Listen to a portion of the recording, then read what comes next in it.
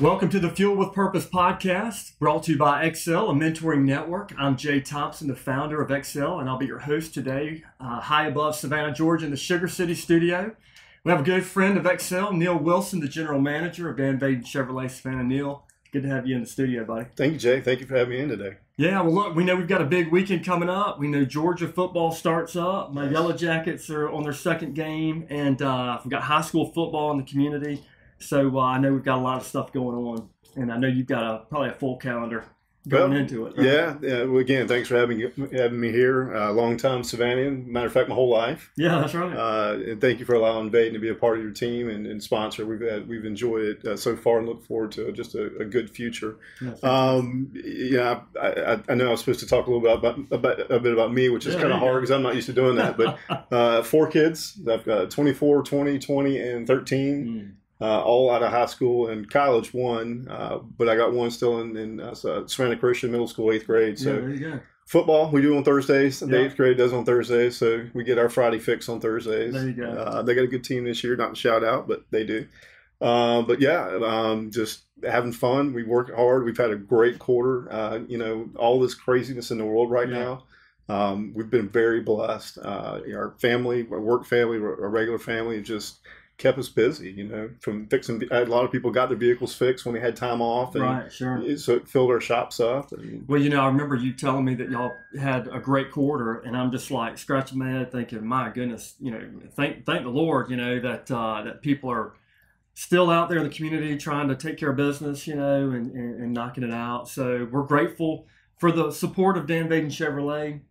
Uh, I know we just launched our automotive mobile training unit uh, a couple weeks back there at the dealership, and so the uh, best unit, right? yeah, yeah, that's the best unit. That's right, man. So uh, what's funny is, is I've got a, I've got a family member who's got a junkyard in town, and so we we were identifying some uh, some some tools and some uh, rotors and things that we could use for the mobile training unit to teach these brakes. And now, uh, you know, I feel like we're about to uh, assemble that onto the trailer to start teaching, uh, you know, brake and caliber uh, caliper work, and uh, so we're excited about that. But uh, I wish you could come to my driveway and see. Like my wife's like, uh, all right, Jay, we got to get this thing rolling, and I know you guys are ready too as well. So uh, uh, we've got our fabricator, who's Drew's been coming on board, and he's been helping us get these workstations in place that we can launch into the training.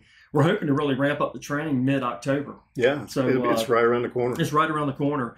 And uh, so we're real excited about that. We know we've got uh, Bethesda. We trained in Bethesda or there on the property yesterday with their students on the uh, construction trailer. They're already asking for the automotive trailer. I've got a principal out at uh, the the alternative school in Effingham called Crossroads. His name's Brett, and he's already asking for Troy, who's on your team at Dan Vaden Chevrolet, to come on out and hang with us on the automotive trailer. So really, really excited to take the automotive. Troy's trailer. excited as well. He's on the school board out there. So That's right. Yeah, he's, he's he wants to match the Vaden and the, and the schools out there, especially in this program. Yeah. So really, when I heard that, that was this week, and so we're really excited about the three counties and where we're going to be able to take the automotive trailer and really engage students here specifically with Chatham County. Uh, we've got Jenkins High School ready to ramp things up there on campus. We've got Woodville Tompkins ready to ramp things up. I was just in a meeting yesterday with Park Place Outreach. I don't, I don't know if you're familiar with them. They were actually at the launch Okay. uh, on uh, at the dealership a couple of weeks back, and uh, Shannon is real excited with us moving this automotive trailer over to their place on Henry Street. Start training up. I think they've got That's five to six young men. They're ready to start putting to work on that that mobile Uh, training unit. that is that's great news. Well, so let's talk about this. You know, I know coming through here in Savannah, grew up in Savannah, living in Savannah, there's probably people that have come along in your life that have kind of helped point you in the right direction. And uh, really, we just would like everybody we bring in, we want to know if there's somebody that's kind of steered you in the right direction and kind of moved you forward on your journey of life. Well, uh, you know, I've been there 25 years. Got there when I was 19. I kind of stumbled in. I Mhm. didn't mean to aim to be in the car business. I was actually in college, Okay. and I needed a job working my way through college. And a friend of mine, his dad worked there as a manager.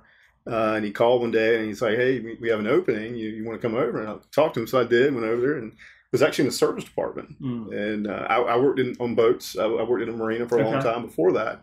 Um, so I had a little bit of technical knowledge, but when it comes to working on cars, it wasn't that great. and I could change the radio out. yeah, right. All, That's all the, about my my competence. all, all, all the teenage stuff that we did, you know, with Mhm. our cars. So I could do that. And, uh, you know, I went to work there and, you know, my goal was, was, uh, you know, I want to help, you know, it was, it was a good job. I mean, I started learning really quickly. The managers that were there, I mean, they, they need production, right? So they were, they were like, if you will learn, we'll teach you okay. we'll, we'll give you we'll give you all the tools excuse me and uh, so i did that for a couple of years and i actually finished my college degree in working at a dealership yeah so and and i remember so I, when you ask about mentors i've had probably three distinct mentors at, at, at Vaden that made the most impact on me uh, outside of the service there were Right. some really good service guys there Okay. uh, but the three that and, and you tell me to shut up if i'm going too long No, but the, keep the- going. Yeah, that's good. the three that, that, that made the most impact. Well, one was his name was Bruce Fulford, uh, and Bruce was a uh, uh, the, the I guess he was the general manager at the time. Mhm. Um, super super car guy, you know, people person, great leader, great trainer. He was just a someone you wanted to follow. Uh, and I was talking to him one day. He came back and we were in the shop, and he saw me working with my, with my books at the you know at the lunch table because I had to do my homework. You were studying. I, I didn't have a choice. I, I didn't yeah. have a choice. I had you know, tests at night, so Right. Uh, I had to, and it was not by my choice. I would rather go to lunch, but Bruce one day he, he stopped by. And he, he was going to get something. He said, uh, "You know what? What are your plans after after college?" And I looked at him. I said, uh, "Well, I plan on getting a real job. Never, I'll never forget it to this day." And he goes, "Ah, well, what's a real job?" Uh-oh. And uh, I said, "Well, you know." Maybe like Bell South, or I don't know, something like that. Maybe Georgia Power. He's like, right. huh. He goes, okay. He goes, well, have you ever considered maybe staying in the automotive career? Mm. And I said, well, Bruce, no, I really haven't. And I think at that point, he and I got along. I took care of his customers. You know, I, I enjoyed working there. Uh, I tried to make it the best no matter what we were doing. Right. So I think he took to me in that capacity, and I think he took it under his wing to go, hey, I'm to try to keep this guy in. Yeah. And, and I get that now because Right. that's kind of my job. Train them up. You know. Well, if you around. see somebody with some potential, or at least uh, an understanding, or something that you know that you'd like to have on your team, Mhm. you're going to go after it. And I didn't get that then, but I definitely get that now. Yeah, so you know, Bruce was a great inspiration. Uh, he was actually out of ECI Twin City. All Uh, played yeah. against Herschel. Yeah, you're right. He was he was famous for that in our in our little in our auto group, and uh, uh, so he was a huge football player. So he was very competitive. Right.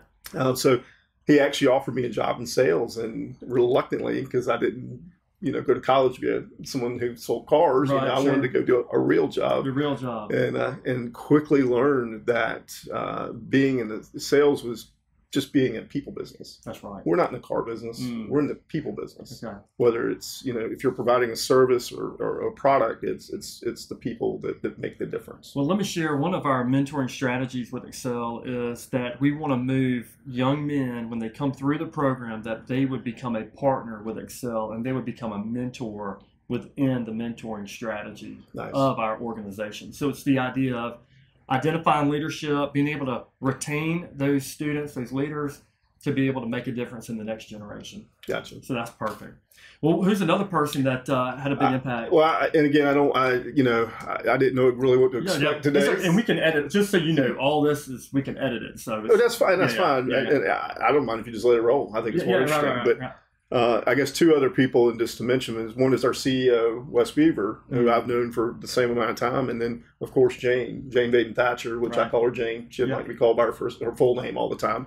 Uh, but but but those two in different ways were very instrumental in my growth in, in, the, in the company. Mm. Uh, Jane, I, I got on her team. Uh, she became a dealer while I was working out from underneath her father Okay. she started branching out to, to grow the company. So, you know, you've got to go do your own thing at your own store, basically. right. Uh, so I was, I was lucky enough to be on her team. The funny part about that is, is that put me against her father's team, Uh-oh. which had a lot more power and, Right. and a, lot, a lot more stamina and, right, and yeah. staying power. So, but long story short, uh, you know, watching her become the leader, you know, we were a four store group back then. We're now at 10 stores and growing Oh, wow. uh, under her leadership. So she's not only doubled, she's doubled and a half what we started. And, All right. uh, you know, big shoes. Dan Vaden was a, man, he was a great leader, follower, dealer. I mean, Mm. He was just a great individual. Yeah. Uh, he loved his people. He loved his employees. He loved his customers. So for her to follow that, man, that to me that is true grit, and I've Sure. always admired that. And uh, sometimes you don't see it now because Right. we're at this level. Yeah. But I was one of the ones that was lucky enough to go through that process, and I mean every step, and really exciting. Yeah. And, uh, and then Wes Beaver, our current CEO, uh, been with the company as long as I'm actually three or four months m- more than I have. So we're about the same time Okay. came in at a different capacity, but Yeah. he and I, um, uh, as far as strategy on growing the business, he was integral in that growth process and, and helping bring ideas and stuff to the company. So watching all those dynamics Right. and, and getting some advice and sometimes advice I may not want to hear, right? Yeah. Advice I may have to give to someone. Uh, just, I would say it's probably the three top people in Yeah. our company. So really, three strong leaders that really took an interest in you as a younger individual, Mhm. wanted to grow you and groom you and prepare you for leadership That's correct. in the company. Yeah, that's fantastic.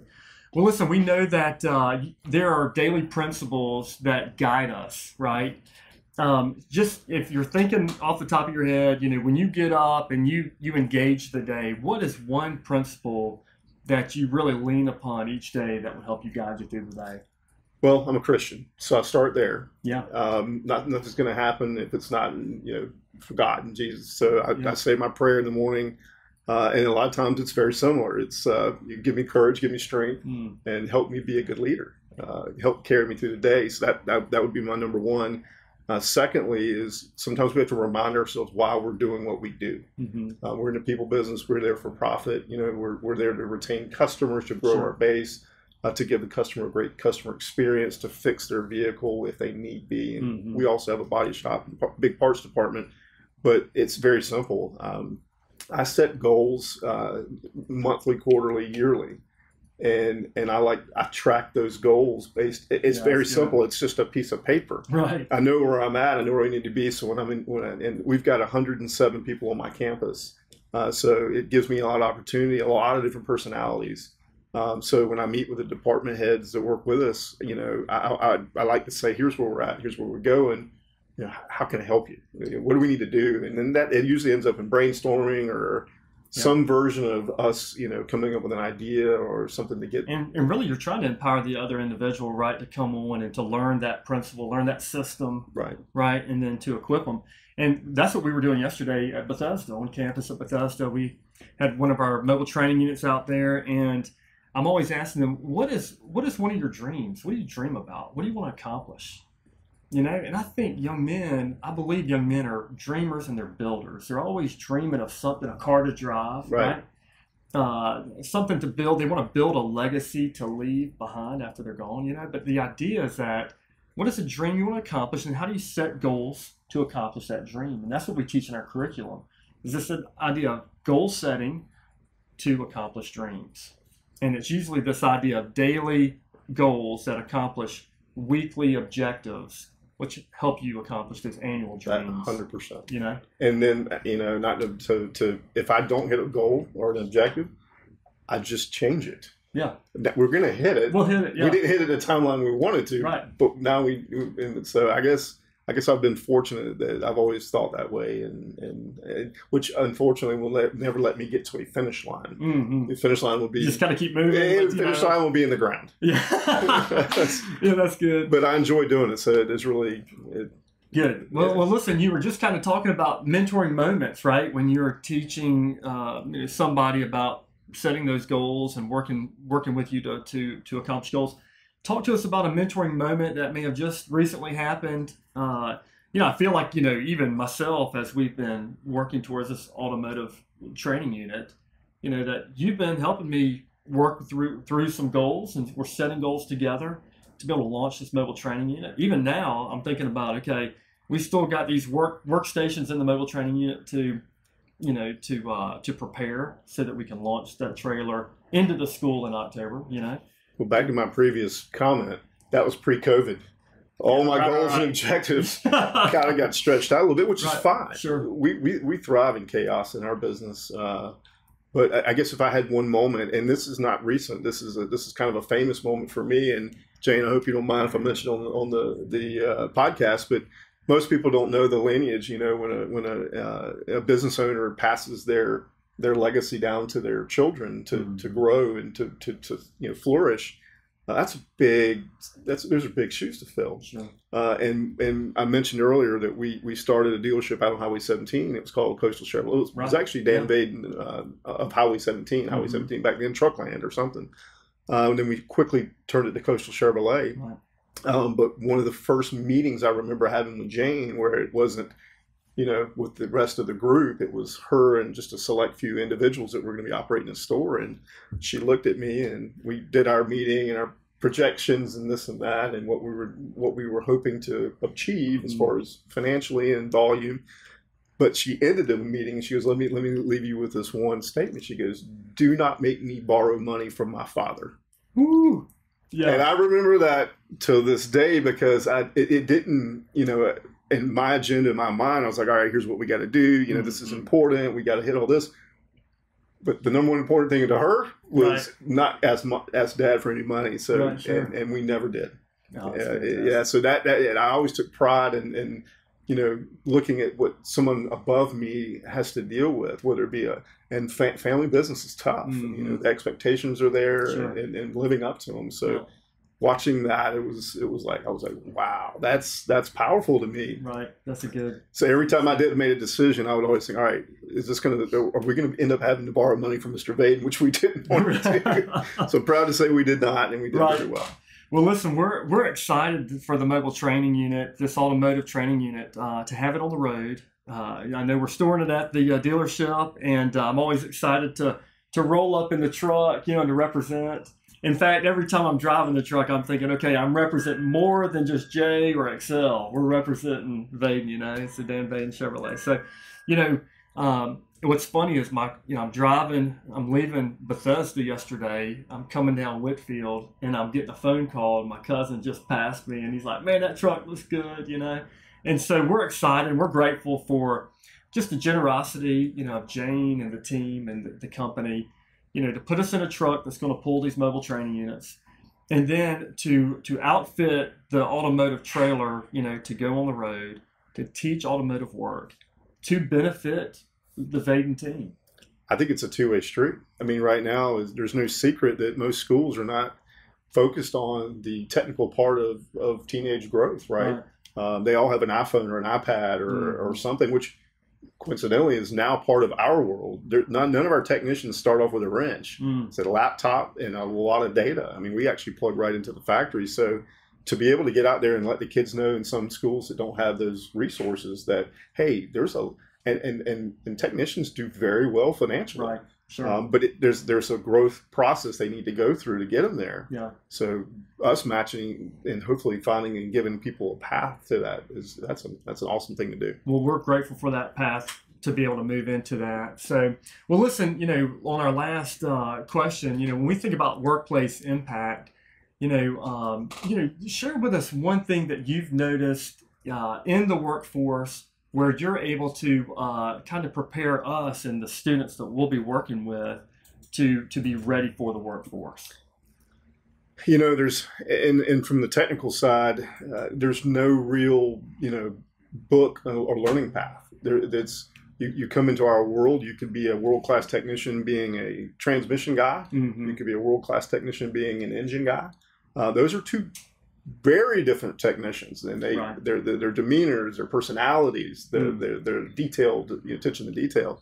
Um, I would say just giving the kids the basic knowledge, which which is what we're trying to accomplish, and seeing which which way they they start. So if we've got someone who's interested in in, in the the front end or the suspension of a vehicle, that's a very specialized part of our work and, Mm. and, and, and what we offer, a service we offer. So if someone, I would say, if, if once we we we pin down what a child or a student likes, let's try to steer in that direction. Got it. And we've talked about this before, getting them with someone in our company. So even if it was an, an outside independent or they, they they choose to leave town and go somewhere, um, they can kind of know what they're talking about when they go and visit with the interviewing manager and say, Right. you know, I spent this time doing this. I was really interested in suspension, or I, you know, I love doing brake work, or hey, I, I really want to know about body work. And and I Yeah. think just it just empowering them to to ask, not you know what I mean? Because that's when, when we bring kids in, um, uh, and I say kids, younger, usually younger guys, and, and we've had some some young ladies as well, some really really talented young Sure. female technicians, which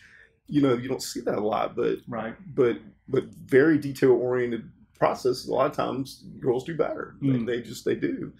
Um, We've seen that in the welding profession. Yeah. TIG welding. it's when it, Yeah. the, the more more technical and detail oriented is they, they they usually excel at that. Mhm. So I, I think empowering them to say, you know, I'm interested in this. Tell me more about it. I think as a hiring manager, you know, I'm I'm I'm, I'm I like knowing where someone's head's at. Yeah. You know, if you're like, hey, I just don't want to do this. I really like this. Then that gives me an opportunity to know that, hey, does our company fit with what your what your Mhm. goals are? Now they may change those goals as Right. they get and go, oh wow, I really like that, Mhm. and that's fine. But I think it gives them because you know, just a young kid, I ended up in this business that we're now sponsoring with you. Right. Uh, the irony that I'm actually running the dealership that I was competing against a a, a long man. time ago. It's kind of a full circle. Full you know, circle, but yeah. I didn't know what to ask when I was talking to, Sure. that, to that hiring manager. I knew that he was my my my uh, good friend's father, but we never had a lot of dialogue about the Mhm. job. So I just said I'm willing to learn. I guess you know. Well, you know, it's interesting you say that because we've got three questions or we've got three principles that we teach our young men. You've got to get up, you got to show up, and you got to speak up. right. And and that speak up a lot of times as a young man, you know, you know, I was always intimidated to open my mouth to ask the question. Right. I think everybody was. Yeah, and so, but it's like, man, if we can encourage these these young people that we work with to say, look, don't be scared to speak up. At least communicate. Have a dialogue between your employer and you, or your crew chief. You know, let's uh go ahead and, and, and ask questions. It's Well, they're, okay. they're they're already judging what it's going to take to manage you. right So show them what they're managing. there, you go. Here, I'll, I'll I'll do this. I'll do this. You know, I'm interested in this. You know, is do you, do you guys have a path? hmm You know, and, and sometimes no's a good answer. Right there, We, you we don't have a path. Yeah, that's right. But guess what? This person does. Mhm. Let me show you that direction. So you I, can direct it. I think just building them that confidence, just to like you said, that that's a great three principles yeah, because good. one that we didn't, I didn't, I wasn't taught coming through high school or even in college was to ask. So- Yeah, good. Well, thank you so much, Neil. I know we're going to have you back, and we want to talk about the legacy of Vaden. Have Miss Jane back. We'd love to just kind of hear the story of Dan Vaden Chevrolet and its legacy. You know, we're excited to be partnered with y'all. And uh, listen, we would like uh, for you, if you're out watching, to uh, check us out on uh, our website at exceltoday.com. Learn more about Xcel and our mentoring work. Learn more about our partnership with Dan Vaden Chevrolet here in Savannah and see really the impact that the automotive trailer is having in, in your community. Neil, thanks for being here with us on the Fueled with Purpose podcast. You. Uh, you know, it's, it's great to hear about the work for uh, Dan Vaden Chevrolet in our community and the impact that you're having on lives. I know uh, we're very blessed to uh, be in a partnership with you and Jane and her team uh, there uh, with Miss Laura. And uh, we're just grateful for your generosity and the support to help us launch the automotive trailer to start making a difference in the lives of young people in the community and then transitioning them to the workforce. So thank you for being willing to, to partner up with us, man. Well, and, uh, as always, we'd like to thank our title sponsor, Mark and Jenna Hall. We couldn't do it without uh, the generosity of Mark and Jenna to be able to tell the story of Xcel and our mentoring work in the community. If you want to find out more information about Xcel's mentoring work, go to our website at exceltoday.com. You can check out what we've got going on and the partnerships like we like Dan, with Dan Vaden Chevrolet and with other organizations in the community and how we're making a difference in the lives here in our community. Neil, thanks so much for being with us in the studio, buddy. Well, thank you for having me. It's been fun. Xcel Strategies is a mentoring network that exists to empower young men with purpose and passion. We accomplish this through mentoring and training on topics such as goal setting, time management, relationships, health and fitness, financial stewardship, and so much more. To learn more about Xcel strategies or how to support our work, you can visit us online at exceltoday.com.